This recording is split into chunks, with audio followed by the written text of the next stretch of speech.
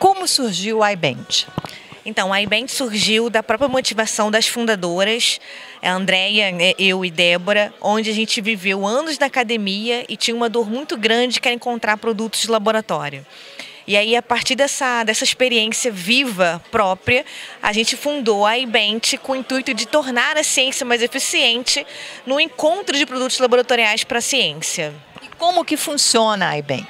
A iBent é uma plataforma única, primeira plataforma de produtos laboratoriais no Brasil, onde o cientista pode encontrar o que ele precisa para o seu experimento a qualquer tempo, de forma muito rápida, de forma muito simples. E isso, isso demanda um, um, um, um tempo muito curto né, para ele usar essa plataforma, sem problemas. E como é que está funcionando? Tá, parece é um marketplace, está no Rio de Janeiro, vocês estão pensando em colocar no Brasil todo? É, isso, ele ele começou no, funcionando, operando na cidade do Rio de Janeiro.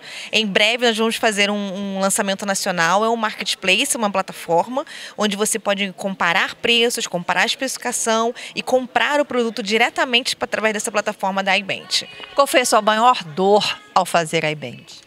O primeiro desafio foi que, como cientista, tirar o chapéu de cientista e botar no chapéu de empreendedora.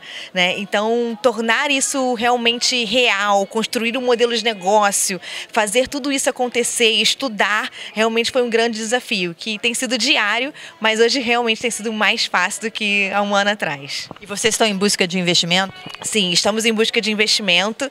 É, hoje nós, nós estamos em busca de investimento anjo, né, para que nós possamos alavancar o negócio, tornar ele mais é, é, com, com novas ferramentas que têm que ser desenvolvidas dentro da plataforma para ela se tornar mais atrativa. E se o investidor quiser procurar, como é que, como é que esse investidor acha vocês?